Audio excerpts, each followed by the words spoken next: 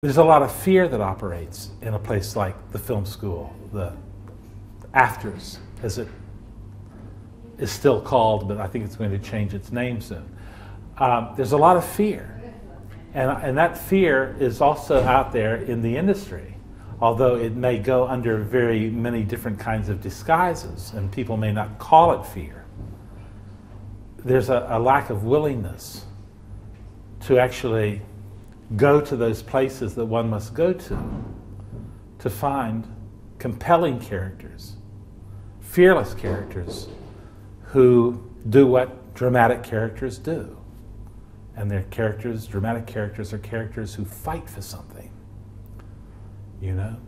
They are striving for something that is absolutely urgent and important for them to have to deal with now, otherwise,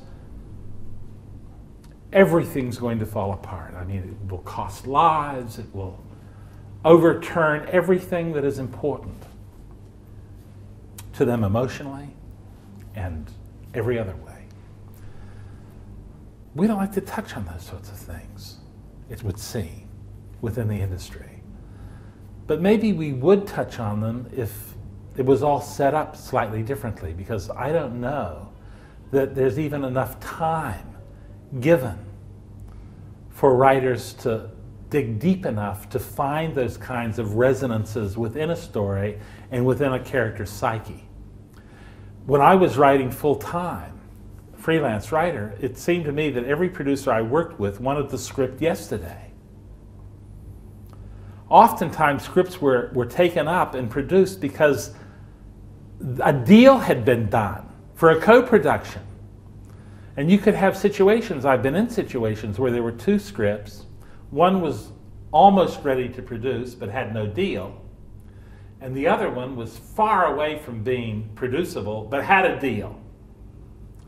And they'd make the one that had the deal.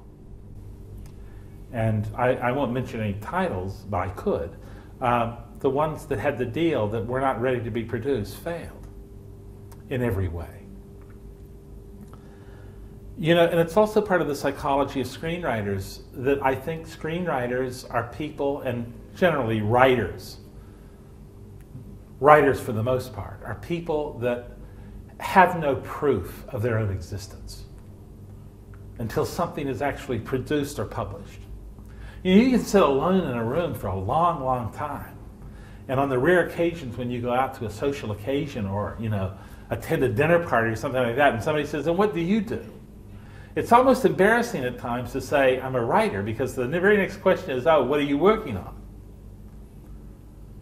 And whatever it is you're working on, the fact is, is that you're working on it. So what? What have you made? What have you published? Anything I know? And if you're working on something and you've been doing it for years, it's like you don't exist. And I think a lot of writers fold or give in to that, to that kind of fear that comes with wondering what their identity is. How do I present myself in the world? Well, the way I do that is to get this thing out there, to get it made. And um, I think lots and lots of Australian scripts get made too soon because writers just need the proof, they need the validation that they exist. And production is the way they do that. So they look for producers and they apply to funding bodies for development grants. And they try to get deals happening when what they really should be doing is forming more, ever more intimate and potent relationships with their characters.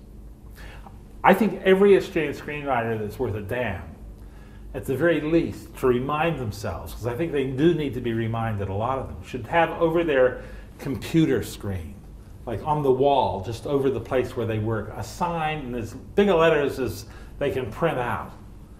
The, the, the, the sentence,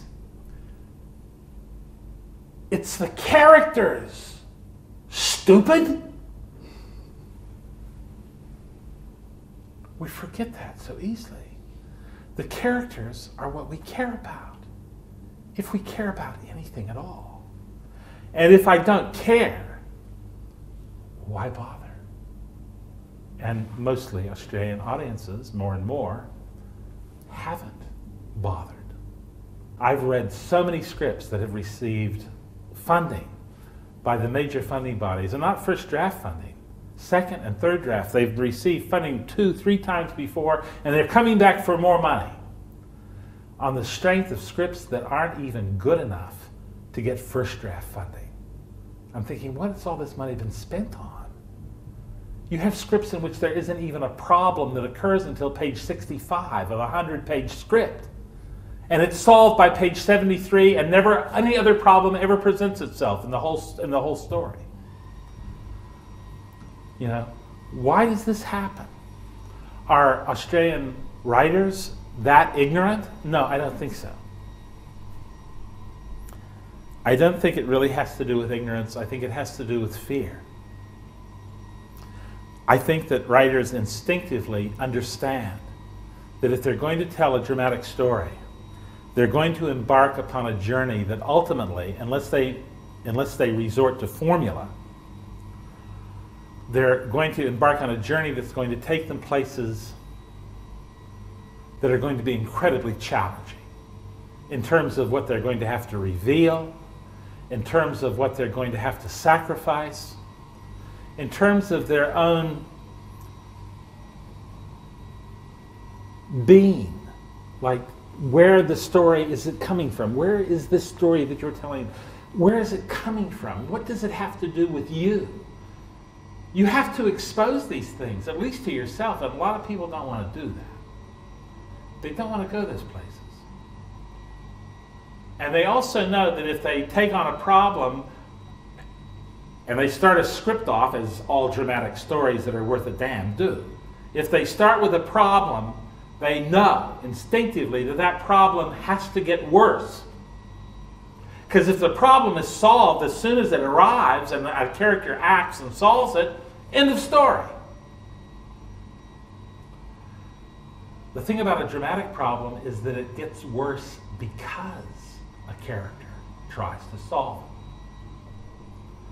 And that problem then builds and it gets bigger and bigger and bigger. And as it gets bigger and more complicated and more dangerous with ever increasing threat or risk for the character, the energy, the emotional energy of the story intensifies. And it's that very intensity that freaks most writers out. Freaks them out because you get to a point where you are no longer in control of that intensity.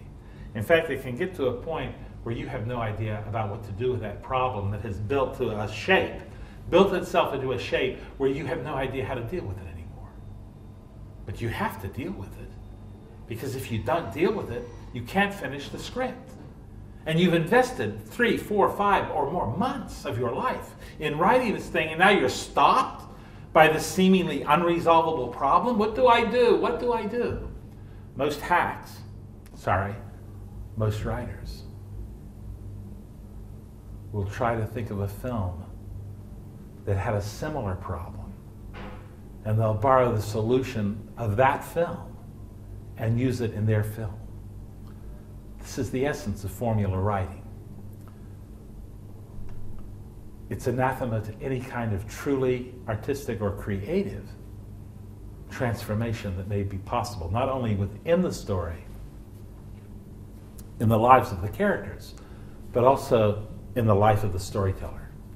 Drama is about change, and that change operates not just in the story, but in the experience of the storyteller as he or she finds that story while going on that journey with those characters in that world.